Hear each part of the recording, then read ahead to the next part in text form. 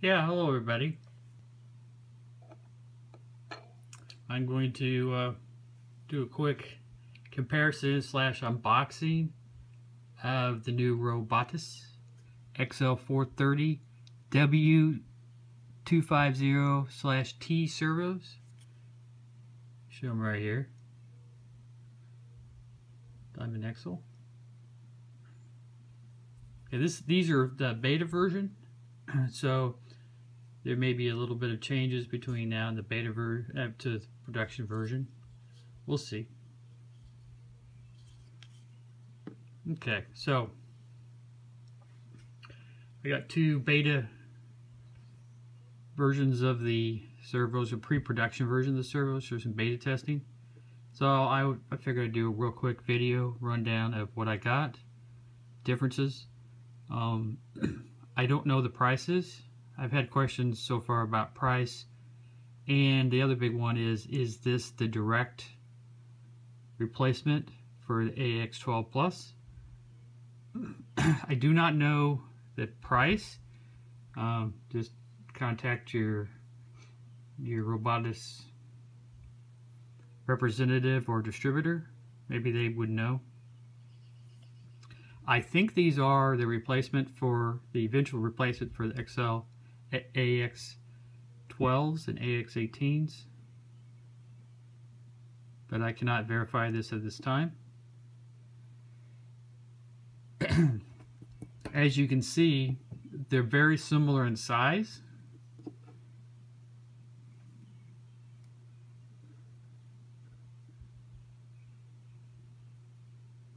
Now the mounting brackets seem to be different. I originally thought that the existing Bioloid brackets would not connect up with the servo, but after doing some experimentation, let me show you. Very typical Bioloid bracket. So the the brackets do match up with the horns. I don't know if you can see it, but I can see the, the holes matching up. So and the other thing is, is that uh, on the AX12, of course you have the free spinning side and the powered side. There's a little bit of, oh, what am I doing? So, here you go. That was the AX12, I'm sorry. This is the, the new servo. And you can see how the horns are matching up with the Bioloid brackets. I was trying to show some comparisons there. So that's a Bioloid bracket, same basic size. How it fits pretty easily on the AX12, even with the free, the three spinning side. Now this one has a free spinning servo horn for the other side. It's built into the servo, unlike the uh, AX12. So you basically screw it in with this screw right here into there.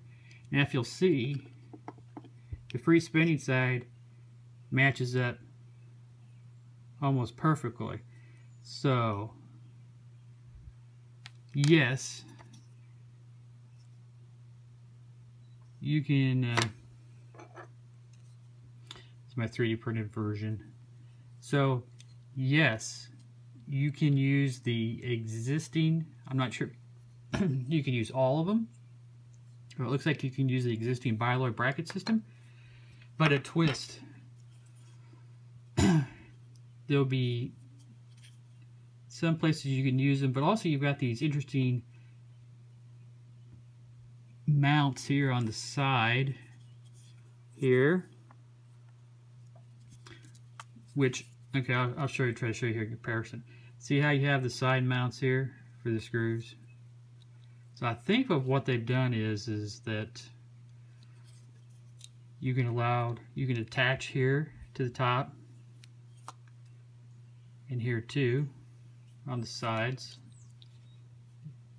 Here's your mounting holes. So you have the ability to mount brackets on all the sides.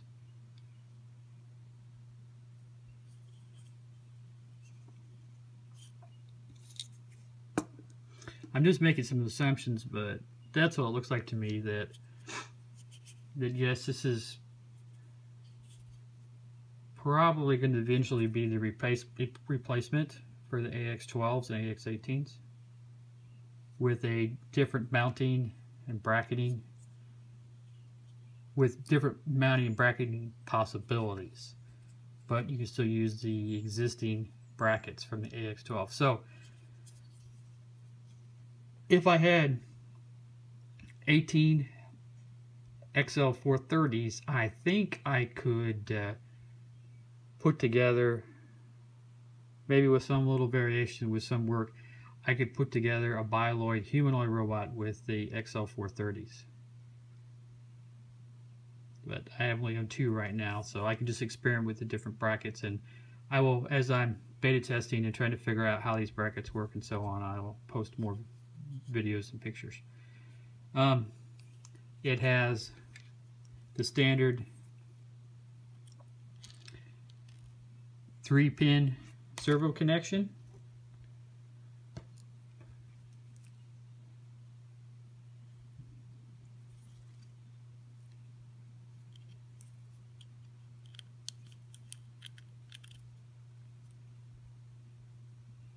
make sure I do this right.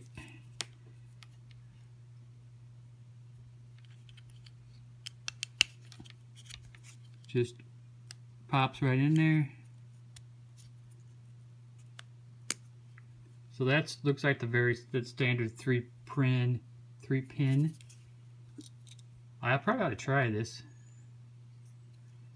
So you can So you can, it looks like you can hook up 12s and uh, XL430s together. So I'll have to try that. I'll have to try that out. So I might hook it up to CM530s and see if it recognizes it and so on, because it looked like it should. And these are daisy chainable, like the AX12s. They also have this new feature, like an LED light, which always makes things cooler that uh, uh, have an LED. This is very similar to how the oh man I can't remember exactly where the LED light is on the on these little servos different pin connections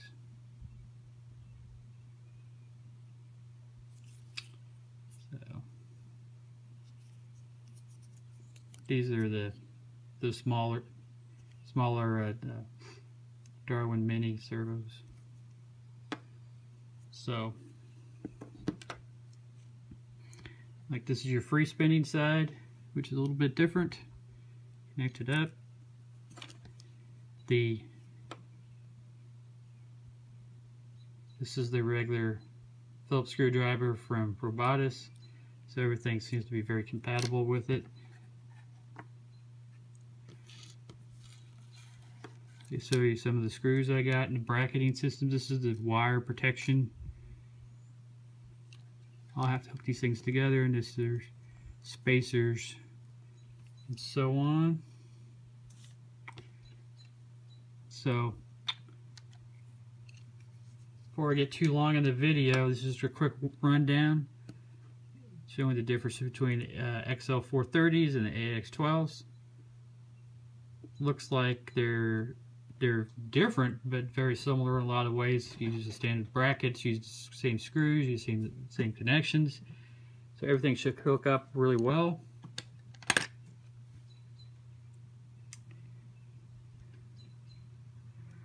So as I continue to work with the XL430s, I'll post more videos and more of what I'm doing. But just do, do a quick rundown of what's going on. So if you have any questions